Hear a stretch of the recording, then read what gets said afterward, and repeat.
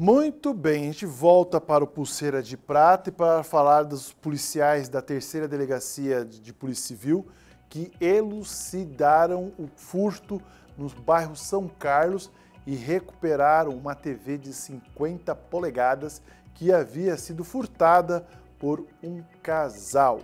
Voltamos de novamente lá com o Alfredo para contar em detalhes mais este caso. Alfredo. É, Israel, o casal do crime foram presos aí o homem de 38 e a esposa de 34, que foram identificados após um trabalho investigativo do Fernando Casati, delegado da terceira delegacia de Polícia Civil, que rapidamente conseguiu elucidar o caso. O caso teria ocorrido no final da semana passada, quando os criminosos, o casal criminoso teria invadido uma casa, pulando o muro, danificando a cerca corsentina e roubando a televisão dessa residência. Desde então, a polícia vem investigando o caso e conseguiu descobrir quem seria esse casal e rapidamente colocou a mão nos dois que foram levados para a terceira DP.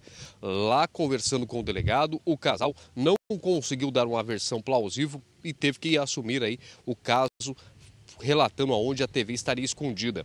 A televisão foi recuperada, uma TV de 50 polegadas, a qual seria vendida posteriormente e seria trocada por entorpecentes. O dinheiro era para consumir drogas.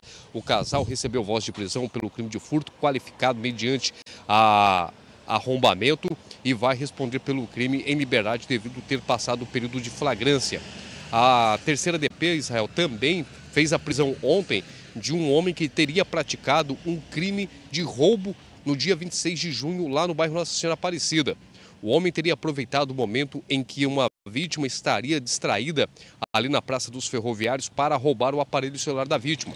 Desde então, a polícia vinha investigando o caso e prendeu o homem ontem, homem que teria confessado o crime e dito para os policiais que teria roubado o celular e depois, posteriormente, percebido que dentro da capinha havia um cartão de crédito e que esse cartão passava por aproximação e o mesmo aproveitou para comprar vários produtos. E o celular teria sido trocado em uma boca de fumo porque ele seria viciado em crack e teria adquirido crack para o consumo após passar esse celular como forma de pagamento.